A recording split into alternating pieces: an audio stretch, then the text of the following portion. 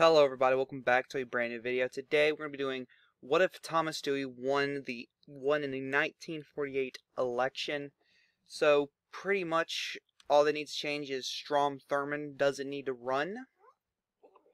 I think that's what kind of killed his campaign in the South. Um, I'm go like you could probably give Dewey South Carolina, Alabama, Mississippi, and Louisiana if Thurmond wasn't running. You probably could. Um, also, I think the state of California. There might be one other state. I could be wrong, though. So, but Dewey would just have to perform better than what he did, and, well, Thurmond would also not have to run. So, Republican Governor Thomas Dewey would defeat Democrat President Harry Truman 277-254 to become the 34th president. Um, this is another timeline where things don't really change that much. They really don't.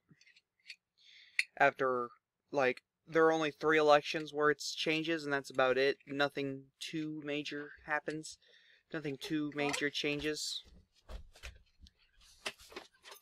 Uh, 1952, Thomas Dewey would uh, go against Adlai Stevenson II. Uh, so Stevenson would run here. And he would actually improve on Truman's numbers. He would do a lot better in the South, while Dewey would do better in the uh, West. Um, sorry about that. My sister decided to run out the door, and the dogs thought something happened and started barking. It's weird, I'm sorry.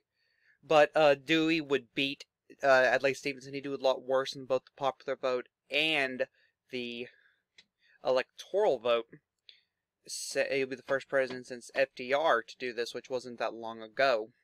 So a trend could be seen here. But uh, Dewey would defeat Stevenson 271 to 260 to win re-election. He'd still win the popular vote by around two or three points. Uh, D and R plus R plus three national environment, I guess you could say. Um, going on to 1956. Well, hold up. 1956, Dwight Eisenhower would run. Of course, there are concerns about his health. People saying maybe he shouldn't run. His health isn't the best.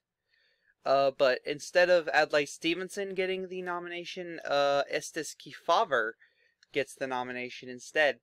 Uh, Stevenson lost to a pretty underwhelming candidate. Thomas Dewey would be kind of like Barack Obama, where Republicans only like him, but, you know, he's not that great. There could be better options. So a very winnable race. He lost. People would be like, no what? No, let's get someone else. Uh, Kefauver would be the nominee. Very popular candidate. Very populist-esque candidate. Though he'd still lose to Eisenhower because Eisenhower was just so overwhelmingly po uh, popular.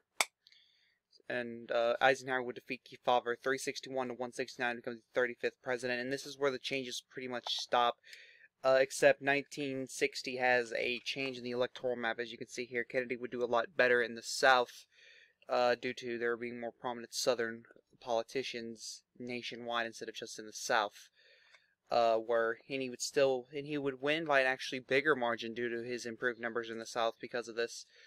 Where you know civil rights, he's not taking as a much of a pro civil rights stance as he did in our timeline, he wouldn't start doing that until halfway through his uh, first term. He would still be assassinated. He wouldn't be assassinated in 62. He'd probably be assassinated somewhere around 60, uh, early 1964, late 1963.